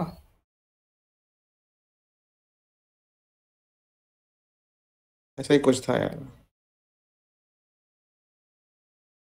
चलो कंफ्यूजन डाल दिया। ओके चेक करते हैं। ठीक है तो आज यही वाइंड अप करते हैं वो कर लेते हैं। नाम था यार उसका?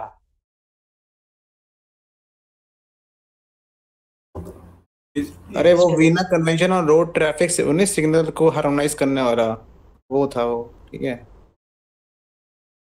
इंडिया सिग्नेटरी है क्या वियना कन्वेंशन का हाँ वो रोड रोड सेफ्टी के लिए मतलब वो ना रोड में जो सिंबल लगते हैं ना कॉमन सिंबल्स ये सब हार्मोनाइज करने के लिए उसका वो है इंडिया है। लेकिन अपना जो तूने बोला international convention on road safety उसका नहीं है।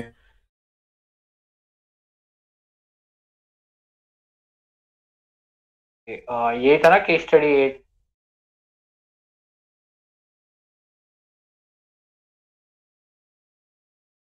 Aditi ji कहाँ है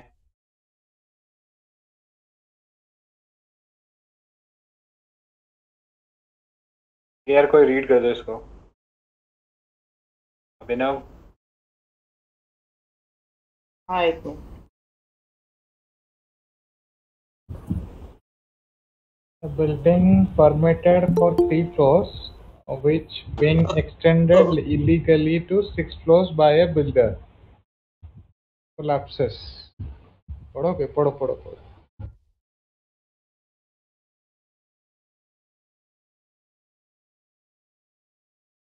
building permitted for 3 floors while being extended 6 floors by a builder collapses. As a consequence so uh, a number of innocent laborers including women and children died. These laborers are migrants of different places. The government immediately announced cash relief to the aggrieved families and arrested the builder. Give the reasons for taking place across the country. Please comment your opinion, structure, answer PDF below. Google Meet session 10 15.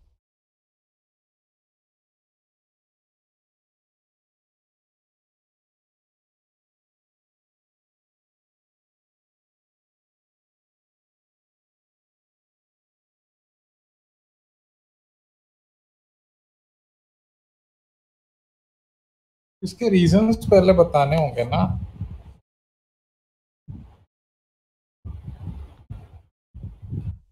पहले क्या issue है ये तो बताना होगा ना। और क्या स्टेक होल्डर्स कौन है वो वो भी बता देते हैं इंट्रो में। तो ग्रीड है मतलब लालच है और यहाँ पे क्या है अनएथिकल प्रैक्टिसेस है बेसिकली और स्टेक होल्डर्स आपके हैं कौन? मतलब लेबरर्स है बिल्डर है और सरकार इंक्लूड कर सकते हैं।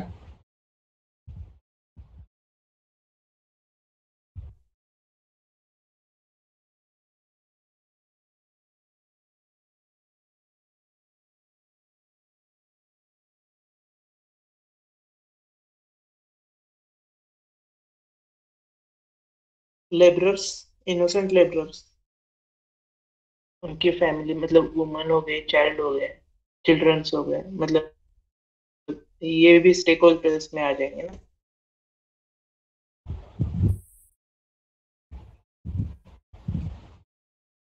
जी।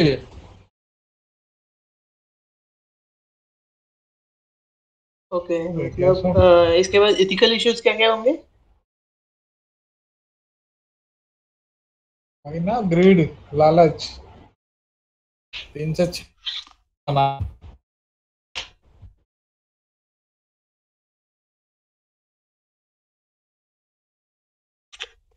वर्कर्स की सेफ्टी भी हो गई ना?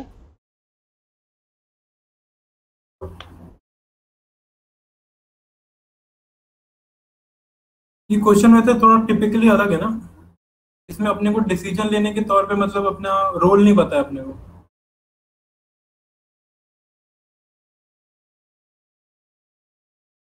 केस बनाने की ज़रूरत हाँ, मतलब तो- अपने को सजेस्ट करने मेजर तो ऐसे एक्टिविटी और ना हो। क्या? हम्म। ये बता हमारा है रोल कि यही है कि रीजन हमें मेजर्स बताना है। नहीं ये तो बता रहा है ना कि भाई अ, क्या रीजंस है? ये पहला है कि रीजंस फॉर सच इंसिडेंट्स तो पहला रीजंस बताइए फिर मजर बताता है ना। तो स्टेक होल्डर वो वाला सब कहाँ से आ गया?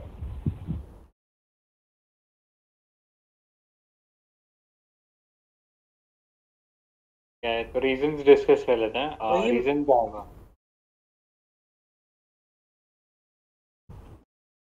मतलब मैं ये कह रहा था से छह वाला तो ओके गो ऑन हाँ बोलो अभिनव।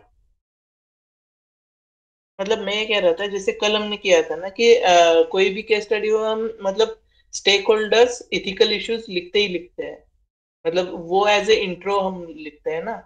इसीलिए वो कह रहा था कि मतलब वो स्टेक होल्डर्स लिख लिए फिर इथिकल इश्यूज़ के स्टडी में है वो लिखेंगे। फिर उसके बाद रीजंस वगैरह टोटल लिखेंगे क्योंकि 250 वर्ड्स में लिखना है हमें टोटल तो 250 वर्ड्स मतलब लगभग तीन पेजेस तो लिखने ही लिखने हैं ना। हम्म। हाँ तो ठीक है स्टेक होल्डर कंसीडर कर लिए तो फिर अब रीजंस पे आता है ना क्या रीजंस है? हम्म। यहाँ पे रीजंस क्या है? पहला है प्रॉफिटेबिलिटी मतलब जो बिल्डर है या फिर जो कंपनी है दे वांट प्रॉफिटेबिलिटी तो उसके चक्कर में वो यही कर रहे हैं सब ठीक है? तो इसमें कॉम्प्रोमाइज होता है सेफ्टी ठीक है? और सब स्टैंडर्ड प्रोडक्ट्स यूज़ होते हैं ठीक है? क्योंकि उनको प्रॉफिट चाहिए होता है। Uh, not abiding law.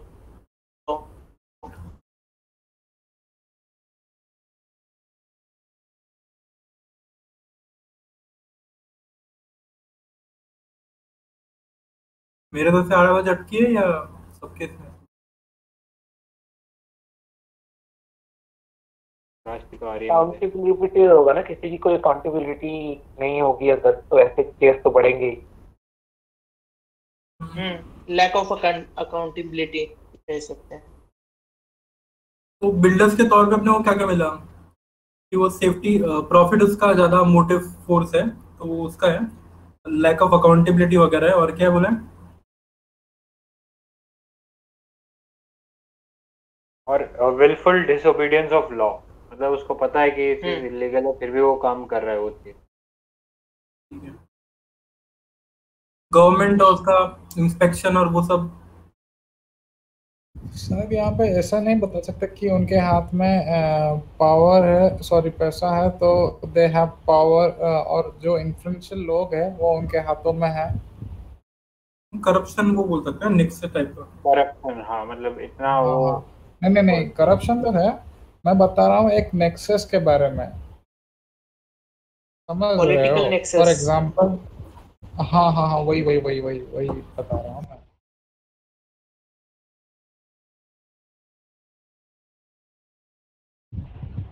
मतलब ये दिया नहीं है but what I am saying basically गलत भी हो सकता है। हम्म। वो तो करप्शन के अंडर ही तो, आ जाएगा उस उसमें मतलब not giving respect to law इसी में आ गया ना? हाँ ठीक है ठीक है। तो हो गया बस ये हो गया। हम्म। अब आते हैं मेजर्स बताइए।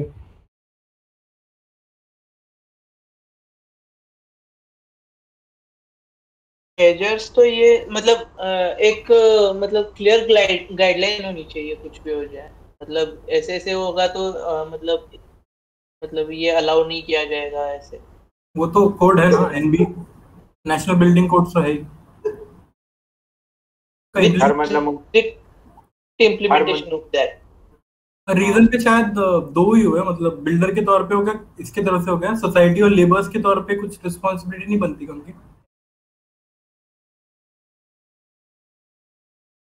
lack of morality generally seen in the society वो थोड़ा कम हो गया। Lack of responsibility towards their own safety of laborers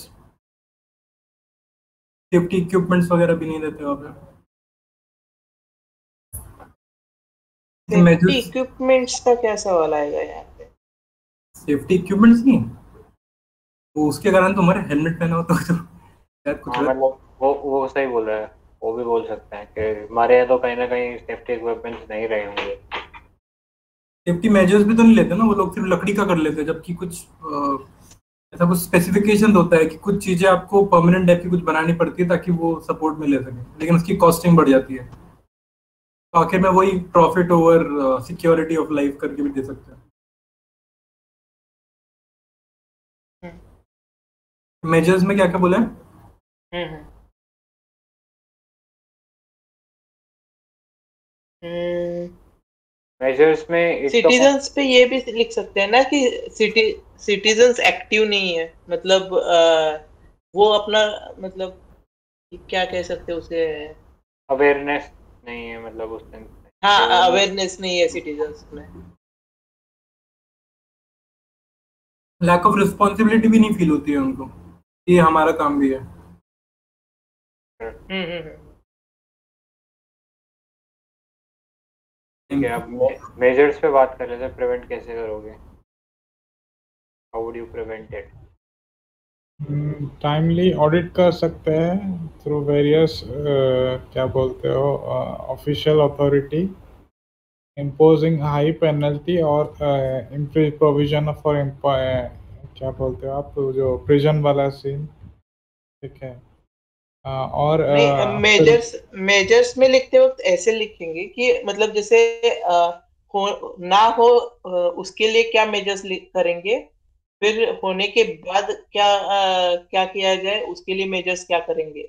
मतलब ऐसे अगर डिवाइड करेंगे तो वो आंसर स्ट्रक्चर्ड लगेगा। सवाल ये पूछ रहा है जेनरिक स्टेटमेंट है कि what are the measure to prevent their occurrence मतलब ऐसा इंसिडेंट होने से रोकना। है आपको मेरे ख्याल से हाँ, ये तो, नहीं पूछा कि इंसिडेंट पे उसके बाद क्या करोगे। हाँ, तो मेजर अपन वही दे सकते कि प्रिवेंशन लेकिन ऑब्वियसली हाँ। उसके पोस्ट भी दे सकते लेकिन उतना ज़्यादा वेटेज नहीं देंगे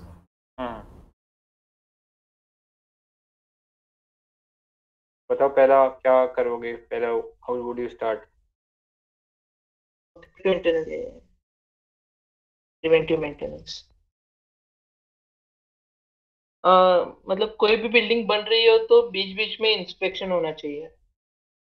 मतलब ऐसा नहीं कि मतलब बिल्डिंग बनने के बाद ही इंस्पेक्शन चल रहा है। मतलब स्टार्टिंग में तो परमिशन मिल गई कि ती, आ, मतलब तीन फ्लोर की बन रही है। लेकिन बीच बीच में जैसे सेकंड फ्लोर हो गया थर्ड फ्लोर हो गया तो टाइमली इंस्पेक्शन होना चाहिए उसका। हाँ और उसके साथ उसके एविडेंस होना चाहिए। जैसा जियो टैगिंग हो गया कि लोकेशन कहाँ है उसका थ्री डी मॉडल जैसा तुमने स्वामित्व स्कीम में पढ़ा था ना कि उसी लाइन के हम्म। ऊपर उसका पूरा जियो टैगिंग होना चाहिए फोटोग्राफिक एविडेंस होने चाहिए। और मटेरियल की क्वालिटी क्या ली गई है उसके ऊपर भी इंश्योरिटी होनी हम्म। चाहिए। ऐसा नहीं होगा बिल्कुल चलता माल ही लगा के आ गया वो प्रॉब्लम तो वही है कि कोड में सब कुछ दिया हुआ है। लेकिन आप इंश्योर कैसे करोगे कि करप्शन के कारण वो इंस्पेक्शन सही से हो या ना नहीं नहीं उसी के लिए तो हाँ। बता रहा हूँ कि जियो टैगिंग और ये सब आई थिंक स्कीम्स मोस्टली जगह पे नहीं है। तो किसी ने घर बनाया हो तो आई थिंक किसी को आके ऐसा फोटोग्राफिक एविडेंस कोई नहीं लेके गया होगा कि क्या चल रहा है उसके अंदर। तो इससे दो चीज़ें मतलब two birds with a single stone वाला आइडिया हो जाएगा। इससे जो ऑफिशियल गया वो करप्शन भी ना मांग पाएगा क्योंकि फोटोग्राफिक एविडेंस रहेगा कि हाँ ये चीज़ था तो गया है तो फ़ोटो लेके आना पड़ेगा। तो फ़ोटो लेके आया और उसमें अगर मतलब वो उन्नीस का बीस नहीं कर सकता उस फ़ोटो को। समझ रहे हो? फ़ोटो दूसरी दिया था। हम्म। अरे भाई ये दस लाइन पढ़ लो ना। फिर तो भाई इंडिया में तो हर चीज़ का लूप होल निकाल लेते हैं तो उसके तो कोई कमी नहीं है बट हाँ एक ओवरऑल हम हम हंड्रेड परसेंट आइडियल कंडीशन लेंगे तब भी वो उसका लूप होल निकल जाएगा।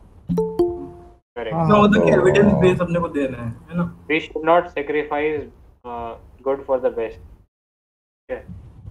तो देखो हम्म। पहला लाइन में लिखा है ना कि तीन से छह बन गए ठीक है? वहीं पे हम्म। दिक्कत है। देखो ये तो कोई एक दो ईट नहीं है ना ये पूरा फ्लोर बना लिए तीन एक्स्ट्रा तो इसमें अगर आप देखोगे तो इसी सेंटेंस में ही आंसर मिल जाएगा। पहला है हमारे ऑफिशियल दूसरा है आपका इन्फ्लुएंस ठीक है? तो उनको अगर आप ठीक कर लेते हो तो तीन से छः कैसे होगा? तीन से चार तो नहीं हो पाएगा छः तो दूर की बात। ठीक है तो अपने टाइमली ऑडिट करा तो जो नवीन पटनायक का मॉडल था रैंडम सर्वे का पे लिंक कर सकते हैं तो रैंडम नहीं आई थिंक उसको मैंडेटरी वो कर दो और मैंडेटरी उसको ऑडिट करने का रख दो कि उसको जाना ही पड़ेगा और उसकी अकाउंटेबिलिटी फिक्स हो जाए। कि अगर किसी पॉइंट पे डेरिविक्शन ऑफ़ ड्यूटी होता है यानी अगर उसकी वजह से मतलब उसकी नेग्लिजेंस की वजह से कुछ होता है तो वहाँ उसकी अकाउंटेबिलिटी फिक्स हो जाए। अगर ये लोग मरे तो उस पर क्रिमिनल ऑफेंस होगा क्योंकि उसकी फिर ये गलती मानी जाएगी ऑफ़िस में तो वो उससे सेल्फ सेल्फ डिक्लेरेशन होता है वैसे। देखो देखो देखो। क्रिमिनल ऑफेंस होगा ठीक है? उसी तक सही है। फिर आपको जुडिशियल वाला सीन पता है ठीक है? तो उसको पोक्सो की तरह जैसे हमारा फास्ट ट्रैक कोर्ट होता है ना तो उसी का भी वही उसी प्रावधान से आ, होना चाहिए क्योंकि it is a threat to citizens life तो कहना क्या चाहते हो? वही मैं भी यही कह रहा था। यही देखो अगर कुछ केस बनते हैं तो उसका आ, क्या बोलते हो? इफ़ पब्लिक का प्रेशर होता है then it is resolve in a fast track basis otherwise अब हो जाता है। अच्छा मतलब वो रिजॉल्व तुम्हारे कहने का मतलब वो रिजॉल्व जल्दी नहीं होगा ये कहना चाह रहे हो ना? नहीं रिजॉल्व जल्दी नहीं होगा तो इसीलिए ना वही फास्ट ट्रैक वाला सीन लाना चाहिए कंपलसरी इन सब केसेस में। अरे वो अपना ऑब्जेक्टिव ये नहीं है कि वो उसको कितनी जल्दी जेल हो और कितनी जल्दी नहीं हो। वो इसका मतलब ये है कि जॉब चली जाएगी उसकी और वो वो एक बहुत बड़ा डिटरेंस है अपने आप में। फिर प्रोसीडिंग चलेगी वो अलग है। वो ये कहना चाह रहा होगा कि अगर फास्ट ट्रैक कोर्ट में अगर अच्छे से जुडिशियल इम्प्लीमेंटेशन हो गया तो मतलब अपने आप डर लगा रहेगा ना कि मतलब मतलब अरे- लग हो गई। डेटरेंस तो देख केस लग गया और क्रिमिनल ऑफेंस हो गया तो अपने आप ही डेटरेंस बन जाएगा। फिर वो तो केस जल्दी हो या बाद में हो, वो तो आई थिंक उससे कोई ऐसा खास डेटरेंस बनना मतलब मेरे को लगता नहीं उससे। बट हाँ ठीक है, वो चीज़ भी लिख सकते मतलब जैसे क्रिमिनल ऑफेंस हो गया, ये ठीक है मतलब वो अरेस्ट हो गया या फिर, लेकिन उसे सजा ही नहीं हुई तो फिर काहे का दिक्कत सजा भी तो होनी चाहिए। अच्छा जो तीन अपन मेजर वगैरह बता रहे हो सकता है वो शायद कोर्ट में वैसे हो। क्योंकि मेरे को इतना पता है कि हर कंस्ट्रक्शन के कुछ 25 percent fifty percent seventy five percent वगैरह में इंस्पेक्शन होता है। कि आपने क्या मटेरियल यूज़ किया और क्या कितना कंस्ट्रक्शन किया वगैरह सब कुछ। उसके बाद उसके बाद ही आप कंस्ट्रक्शन कर सकते हो वगैरह। तो वो तो वैसे भी कोड्स में दिया हुआ है। नहीं नहीं तो कोर्ट्स का तो बोला भी नहीं ना अपन ने। अपन ने तो एक तो बोला कि अकाउंटेबिलिटी फिक्स हो कि जो एक ऑफिशियल है उसकी रिस्पॉन्सिबिलिटी फिक्स हो उसके अंदर। कि अगर कोई इस टाइप से डैमेज होता है तो फिर डेरिलेक्शन ऑफ़ ड्यूटी और उसको ही पकड़ा जाएगा फिर। शायद वो हो सकता है। सिटीजन के पर्सपेक्टिव से भी बोल सकते हैं ना उनका पार्टिसिपेशन ले लें। उनको अगर पता रहे कि ये तीन बेसिकली बेसिकली आर जो होती है ना उस टाइप की एजेंसीज को एक तरीके से कॉन्टिन्यूस डायलॉग हो उनके साथ और उनको अवेयर किया जाए कि हाँ क्या आपके राइट्स हैं और आपके सोसाइटी में क्या हो रहा है। तो उस तरह से सोसाइटी के परस्पेक्टिव से भी एक प्रेशर रहेगा ताकि ऐसे बिल्डर्स हैं वो अपनी मनमानी नहीं कर पाएँगे। तो आई थिंक सोसाइटी लेवल पे आर डब्ल्यू एस या और कुछ जो सोसाइटीज होती हैं उनको हम अवेयर करें तो फिर एक सोसाइटल प्रेशर भी क्रिएट होगा उससे एक्चुअली ये मेजर भी हो सकता है एक तरीके से कि ऑफ़िस ऑब्वियसली बिल्डर को प्रॉफिट ही चाहिए। लेकिन अगर हम बायर्स को बता पाए पहले से कि ये तीन फुल फ्लोर की बिल्डिंग ही थी जिसको छह फ्लोर बनाया तो इसकी स्टेबिलिटी वगैरह थोड़ी क्वेश्चनेबल है। तो उसकी प्राइस वैसे भी कम हो सकती है। वो डायरेक्ट बिल्डर को फ़र्क पड़ सकता है प्रॉफिट बिल्डर को फ़र्क पड़ सकता है और आर वगैरह को एम्पावर कर देंगे ना तो फिर वो बनने ही नहीं देंगे ऐसे construction R A resident welfare association तो इन ऐसे उनको ऑर्गेनाइज करें तो वो ऑटोमेटिकली बनने नहीं देंगे ऐसी या फिर पहले रिपोर्ट कर देंगे। तो एक तरीके से वो एक डेटरेंट भी काम करेगा सोसाइटी के ऊपर। मुझे एक डाउट है जैसे कोई भी फ्लैट लेते वक्त कोई ये देखता है कि यहाँ पे कितने का परमिशन था कितने का नहीं ये वो वगैरह सब। वो तो देखना पड़ता है ना। जैसे अभी फ्लैट है तो कई बार क्या होता है कि किसने बना दिया, घर बना दिया, और वो कंप्लायंस नहीं है। मतलब जैसे दिल्ली के अंदर एमसीडी रूल से कंप्लायंस नहीं है तो उसको लाइसेंस नहीं मिलता। वो उसको बोलता है कि बुकड है वो एमसीडी के अंडर वो चीज़ आप चेक कर सकते हो अपने म्यूनसिपल डिपार्टमेंट में जाके, क्योंकि हाउसिंग का जो होता है आई थिंक वो म्यूनसिपल डिपार्टमेंट के पास ही होता है हाउस टैक्स